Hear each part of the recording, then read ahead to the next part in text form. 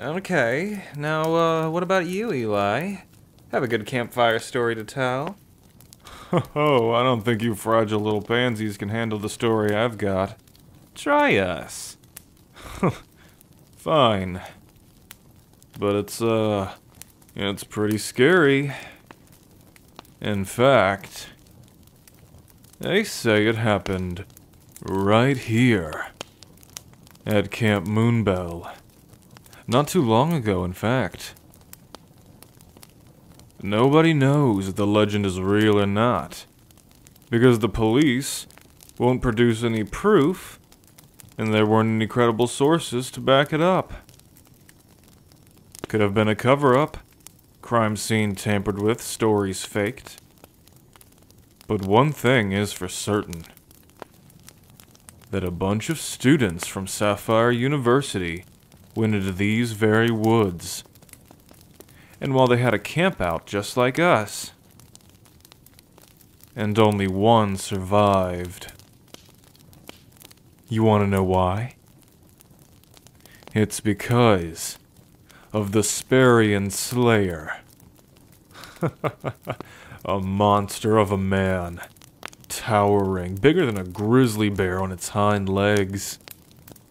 Wears a broken mask and carries around a long spiked bowie knife. They say he stalked this campground like a wolf cornering its prey. And when the time was right, he made his way through the camp and cut everyone down one by one. They also say he even killed a man with a trash can lid. That's how inhumanly strong he is. And after all got quiet, he stopped, leaving only the one. But who knows if they're telling the truth or not, because the rest of the police arrived, nothing was as it seemed. No masked murderer was found, nothing. It all became a legend, a tale. And everyone, even the police, got oddly silent about it. Some who believe it Still says he has a cabin out here hidden deep behind the tree line.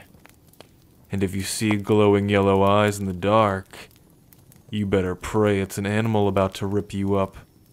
Because if it's the Slayer, oh, you'll think hell is a kinder fate. Ugh, come on, Eli. Did you have to make it about the camp? Yeah, man, I'm not gonna be able to get any sleep tonight. Hey, you asked for it. Plus, this just got boring anyway. I'm gonna go back to my cabin, and I'm gonna sleep safe and sound. You all should probably watch your backs, though. Heard he goes after little bitches first. Oh, get the hell out of here. See ya, suckers. Hopefully.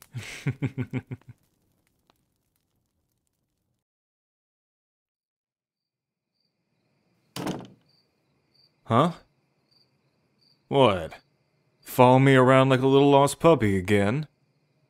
I must be some kind of special.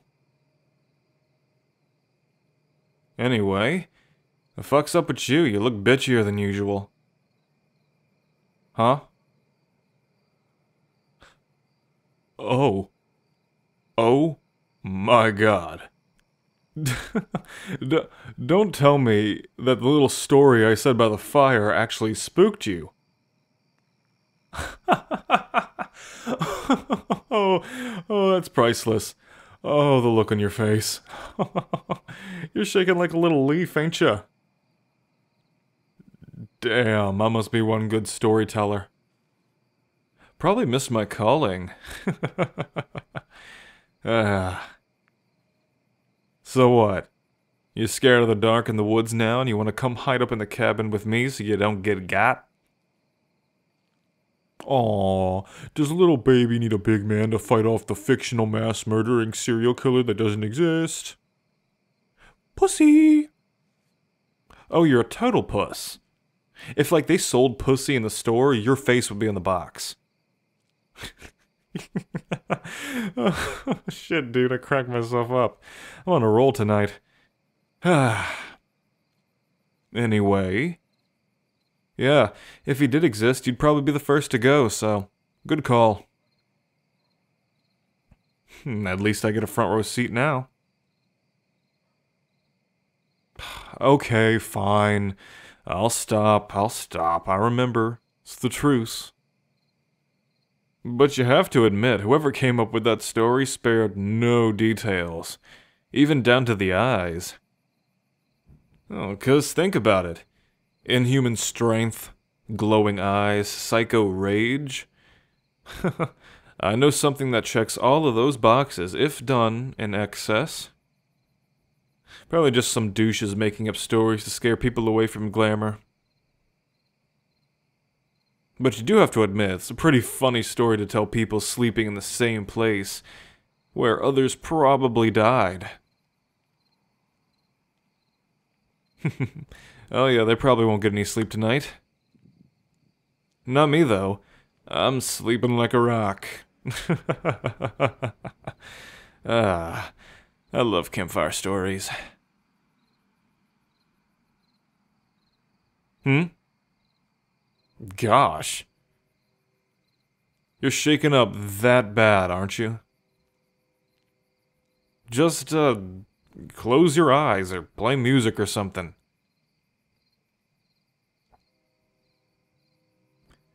Did a story really get you that set off? What are the odds that is actually going to happen? It's a story.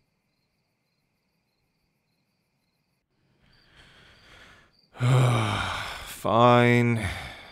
I'm not about to listen to you like that all damn night. Here, scooch over. What does it look like, dingus? I'm making myself comfortable. Well, think, stupid story can't get you if I'm here, huh?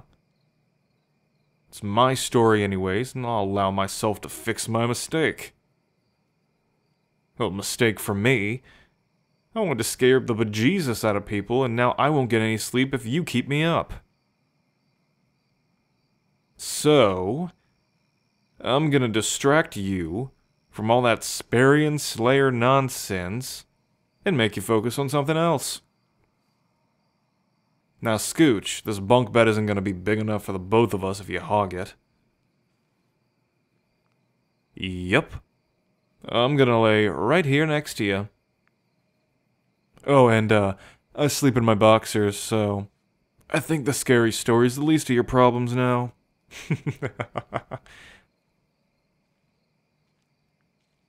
well, bet you aren't thinking about the nightmare fuel anymore, huh? Oh, that's what I thought. And I'm gonna lay here until you fall asleep and quit your yammering. See? Beautiful, beautiful silence. Already. Am I good or am I good? What? Do you want to cuddle waddle? you can do whatever the fuck you want as long as you go the fuck to sleep. Hey, I don't mind. Hmm. Now, shh. Lights out. And if I hear one peep, you're getting a face full of pillow. Now, sweet dreams. Please.